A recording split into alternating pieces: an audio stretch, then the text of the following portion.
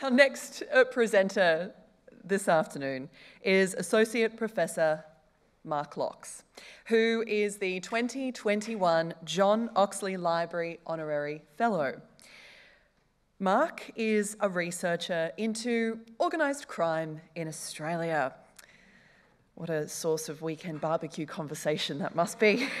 The fellowship has provided him with the unique opportunity to explore the detail of the history of criminal groups in Australia. And Mark will use this information to bring to life through a narrative history, visual maps, and networks, and in podcast form.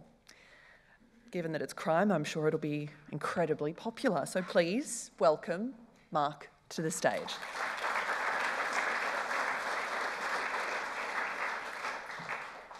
Good morning. Thank you very much, everyone. Um, I have been involved in looking at the Fitzgerald inquiry for quite a long time. And it's been a part of my work life, it's a part of my research life. So I really, really appreciated the opportunity to get in to the library and look at the material there.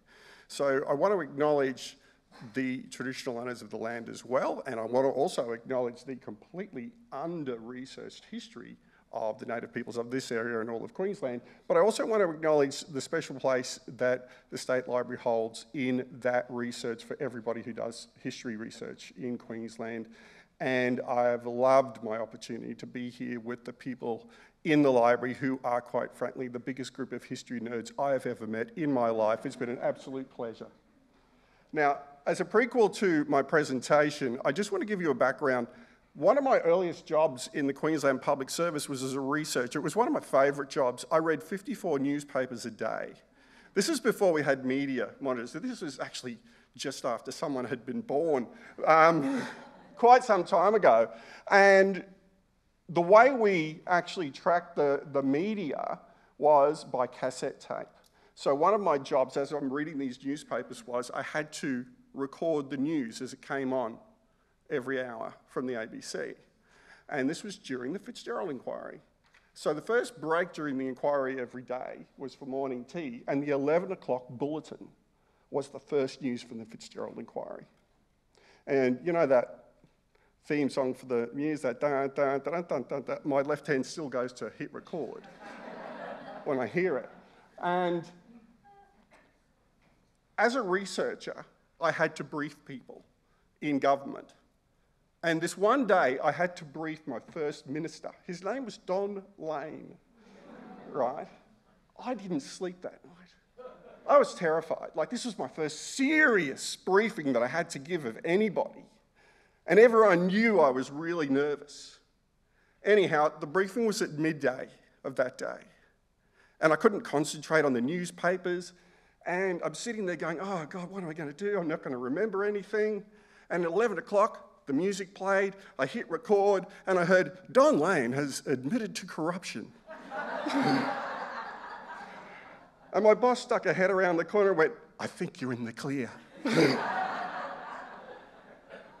so, just to uh, finally get into my presentation, I was excited to actually get the opportunity to get into the closed collection of the Phil Dickie collection.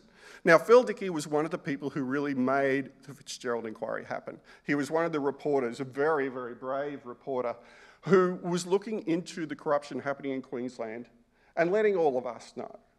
And one of the things I want everyone to remember about the Fitzgerald inquiry is this isn't something that just happened in the past. It was something that was happening around all of us in Queensland at the time. So it was a very social thing.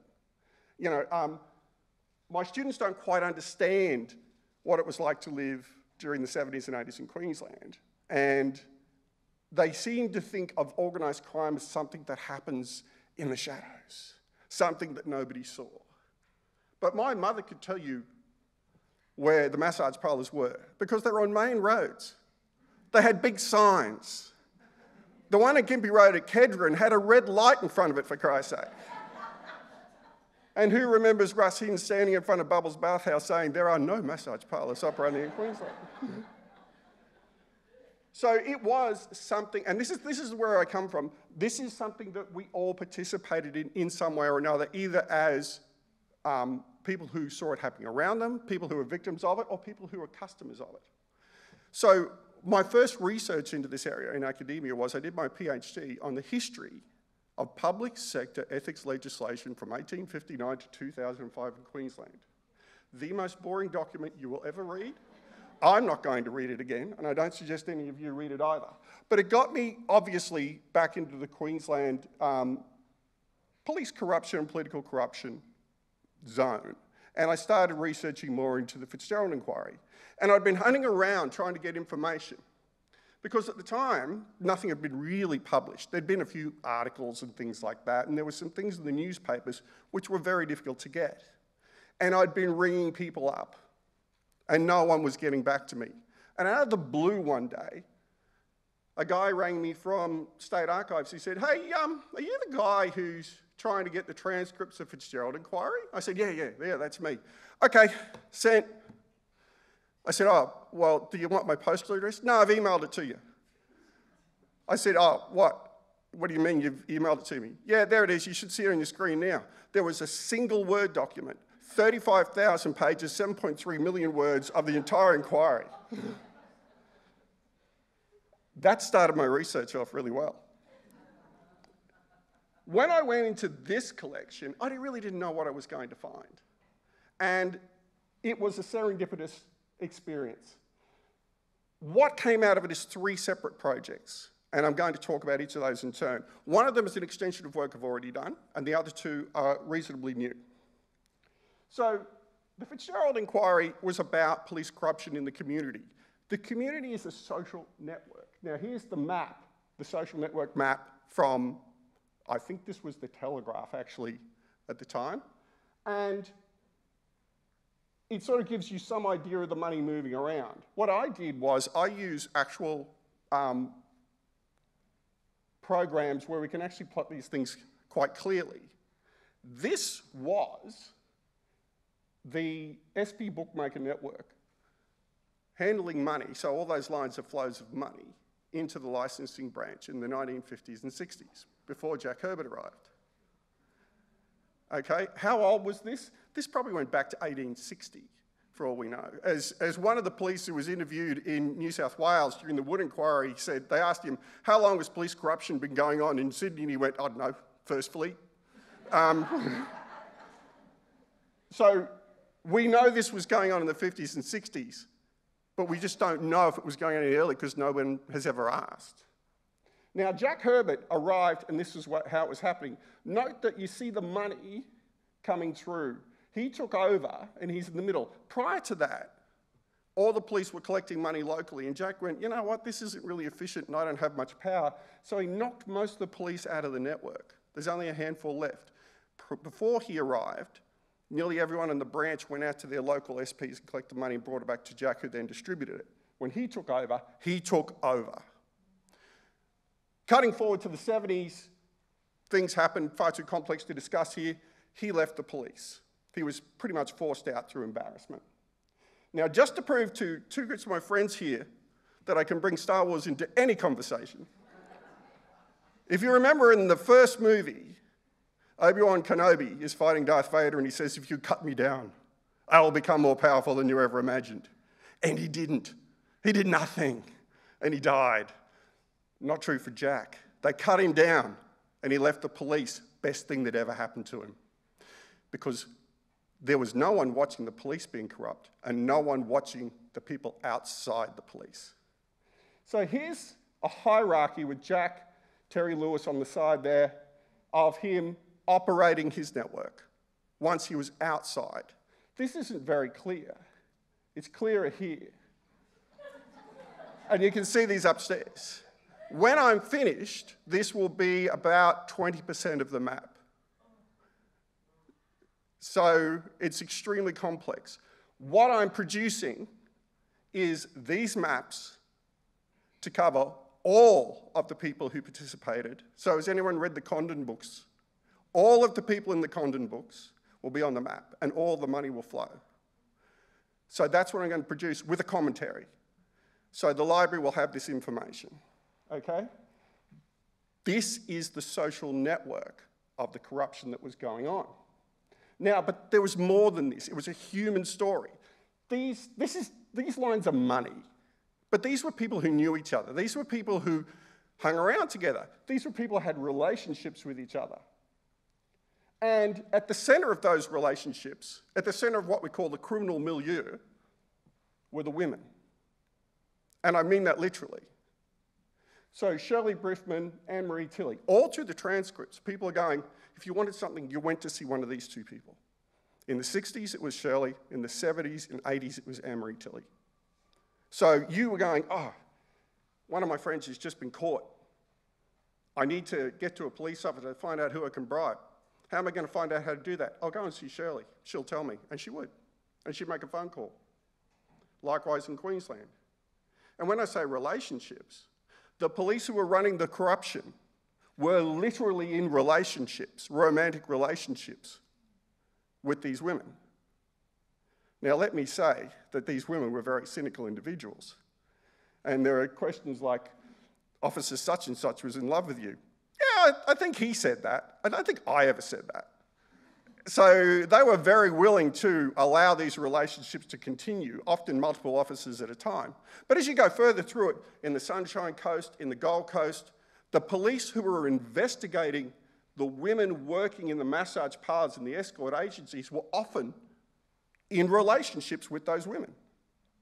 So this is a much more human uh, story than just money passing hands. But they held power. If you're in a network and you're in the center of a network, you're what we call a broker. Brokers hold power because you can't get things done without them. In Shirley Briffman's case, unfortunately, that power was tremendous, and it is highly suspected that she was killed as a result of that. That is a different story that I will tell on top of the social network maps. Now, what I really found though was Phil Dickie has gone in, he's done all this work on the Fitzgerald inquiry, he's bored with the Fitzgerald inquiry. Now he's looking at what else is out there.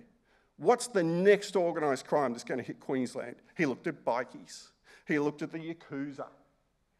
But the main bulk of the data in there is about the 'Ndrangheta, the Italian organised crime groups.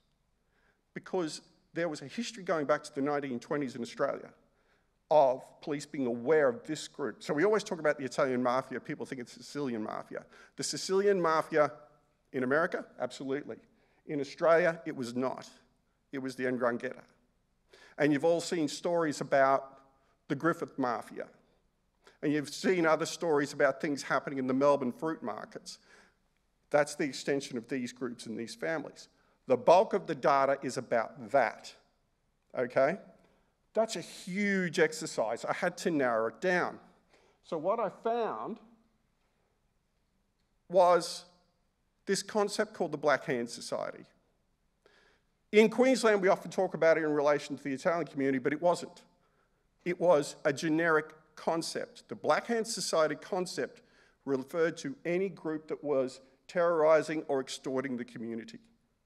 Right up until the 1960s in Hansard, politicians were accusing each other of being black handers in relation to how they were trying to extort policy or extort taxes or something like that.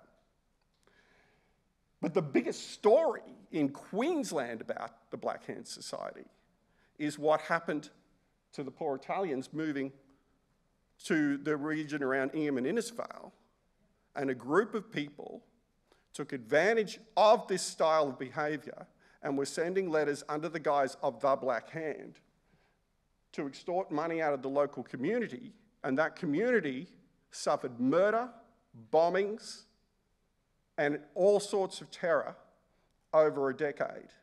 Now, that story's been told in part, but what I'm doing is I'm going to greater detail. I've finished going through Trove, and I've just heard that Trove might be being closed down through government funding cuts. Really, does everyone know about Trove, the newspaper, online newspapers?